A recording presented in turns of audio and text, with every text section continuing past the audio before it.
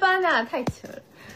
你们班有人在资源班吗？直播中歧视资源班引发争议，过程还时不时放声大笑。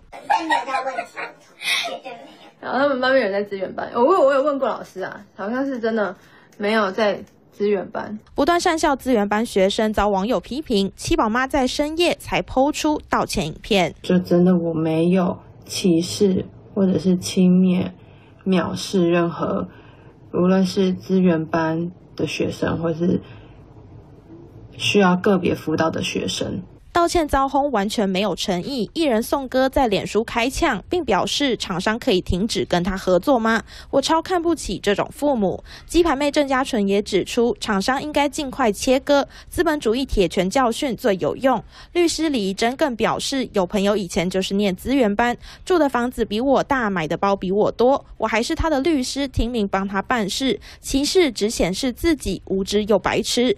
作家凯瑟琳更直接开轰，不善良到极点，这些网红拜托让他们彻底消失。誓言风波不断延烧，就连七宝妈当天直播夜配的厂商都出面切割。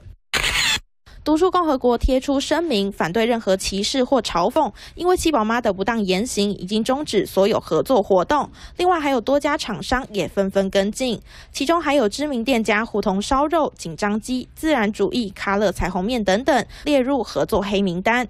七宝妈爆出歧视言论，道歉内容更哀轰推卸责任，如今局面恐怕也难以挽回。三星零售王佩。